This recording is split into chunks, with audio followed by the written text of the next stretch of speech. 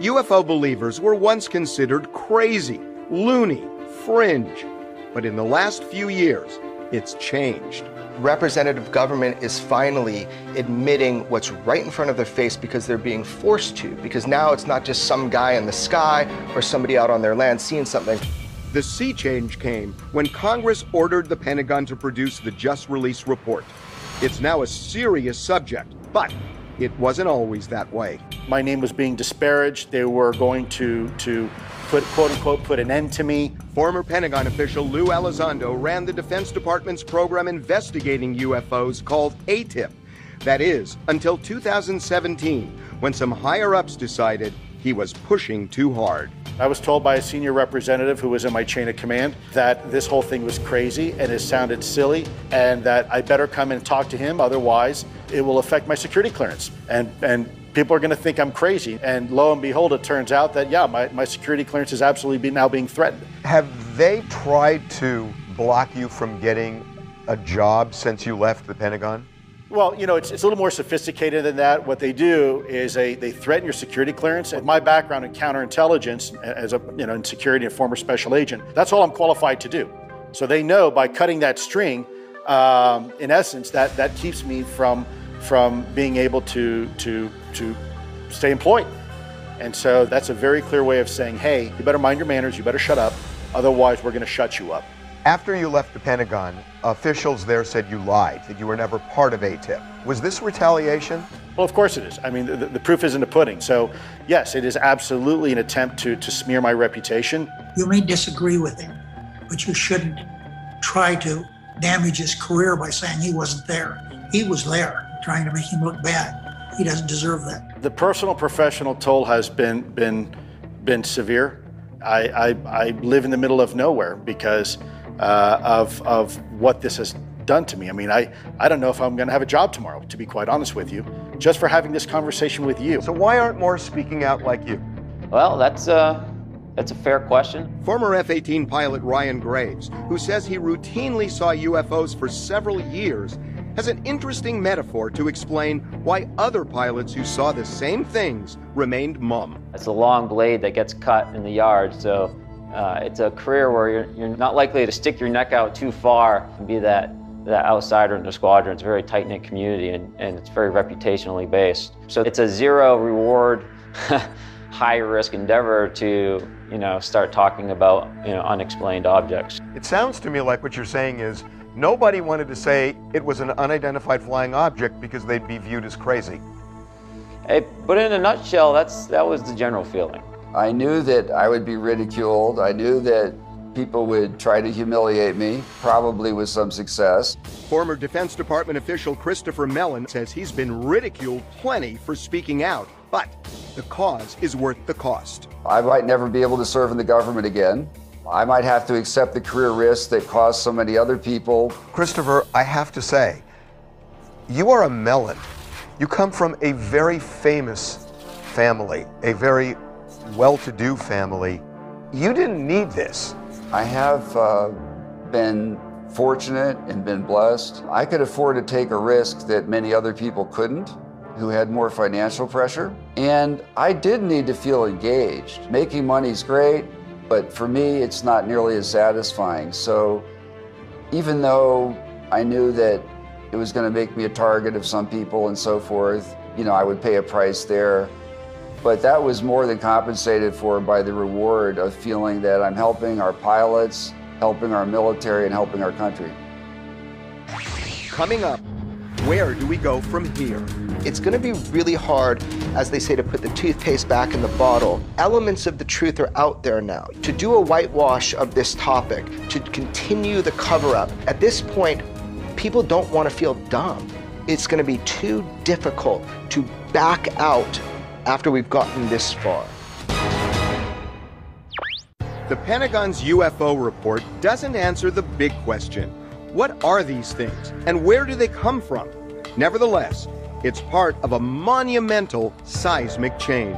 I never thought I would live to see it, where the public is so fully engaged, where the media is treating it fairly, where Congress is interested. I am encouraged by the general sense of disappointment that I've seen within the, the public. This is where pop culture has moved us into a place where we have transformative policy, meaning people are unsatisfied with what the government told them about UFOs. You're happy because the report was so inconclusive, it's pissed off the public and pushed them to demand more answers. You, you nailed it. You nailed it, Harvey. They did not get the goods, and the American public should push back. I'm encouraged by how discouraged people are. The report urges Congress to ante up funds and other resources to solve this mystery.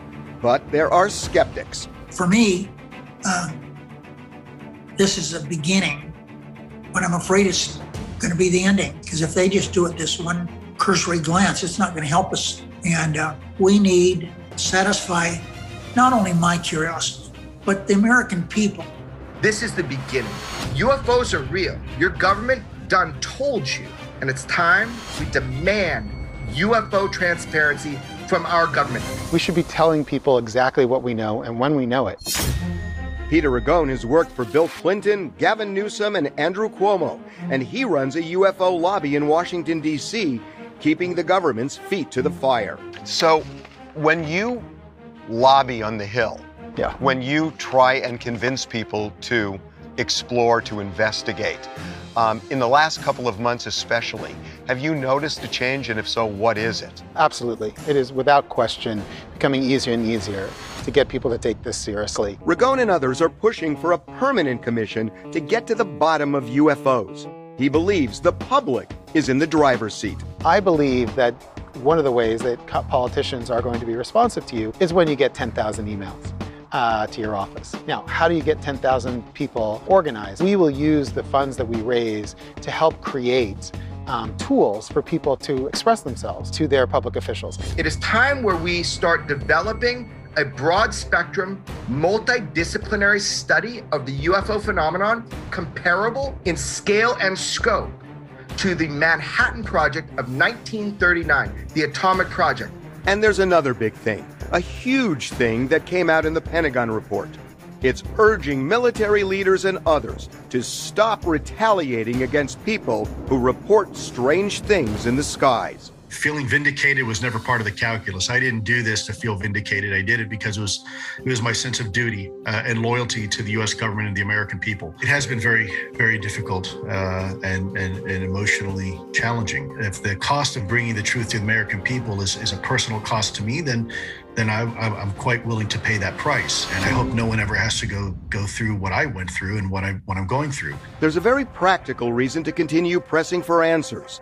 Because as long as they're unknown, UFOs represent a major security threat, and the report squarely acknowledges this. objects that can fly into our airspace and we don't know what it is, we don't know how it works, we don't know who's behind the wheel, and frankly, if these things really can interfere with our nuclear capabilities, that's yet another threat. We know we're vulnerable. We don't know what the intent is. We have some idea of the capability, and that is deeply concerning. Threat is a function of intent and capability. If I were a pilot and I saw these objects that I could not identify, and I even saw them flying in squadron formation, and I'm up in the air not knowing what they are, where they're from, whether they're hostile or not, I would think that a very loud alarm would be sounded. The answer is yes, you would think that. you know, I consider them a threat at the very most basic level, right? For me, my brothers and sisters that are flying could potentially hit one of these. Not everyone is on board with finding answers. There are elements in the in the defense industry and defense establishment that do not want this out, and I think they will fight it tooth and nail every step of the way. The big questions remain unanswered. This has to be an ongoing thing. Seven days a week, 12 months a year, always. We intuitively know that the universe is vast and there's probably people out there who've had time to develop technologically. The whole thing is, man, are they coming here? And, and that's the question we need to answer. Have you answered that question? For me personally, I say it's highly likely. In the end, this is a case we must crack using the skills of a master detective. We're at a classic Sherlock Holmes situation, which is when you've eliminated everything else, whatever remains, however unlikely, it must be the answer. Godspeed, John Glenn. The United States has traveled into space. We've put men on the moon. We've now landed on Mars, explored Jupiter and Pluto. We've even sent a spacecraft into interstellar space. So, if there's intelligent life somewhere else in our vast universe, and we can go in their direction, why couldn't they go in ours? The big question we need to answer have they already done it? I'm Harvey Levin. Good night.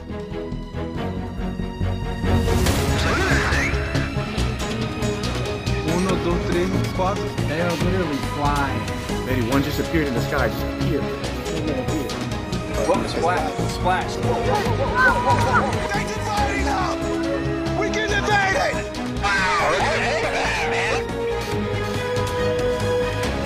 Not aliens. Probably something very scientific behind this. Oh. My God!